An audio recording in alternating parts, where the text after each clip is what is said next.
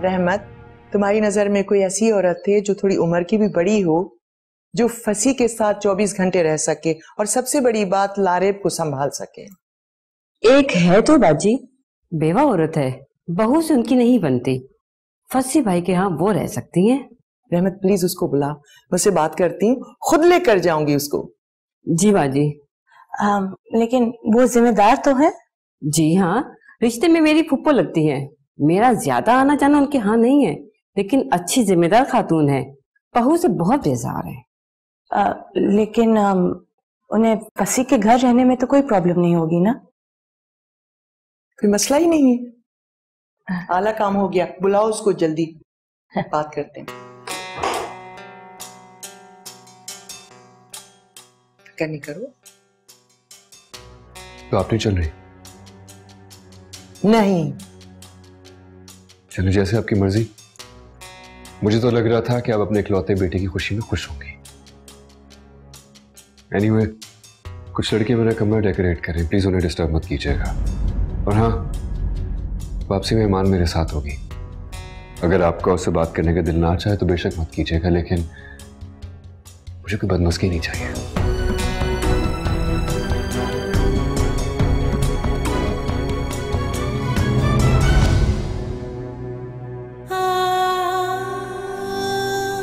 बेटा तुम फ़िक्र ना करो।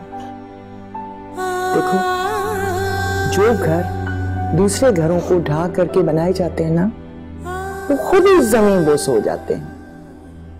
देखना, वो तुम्हारी तरफ़ जल्द लौट आएगा।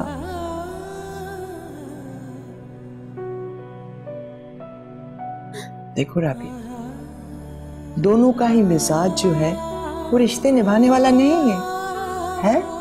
तो ये रिश्ता कैसे कायम रह सकता है? नहीं ना?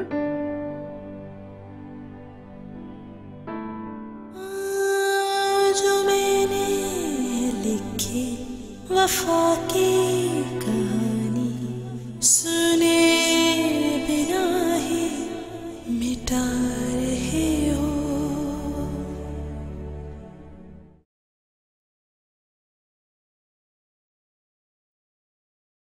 काजी साहब ने कहा जल्दी पढ़ाइएगा। हमें अपने कजीज को देखने जाना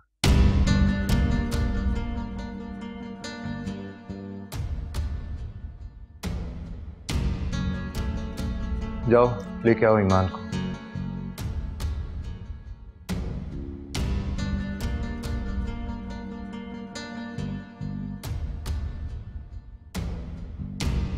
चलो अब्बू तुम्हें बुला रहे हैं। ताना ला गए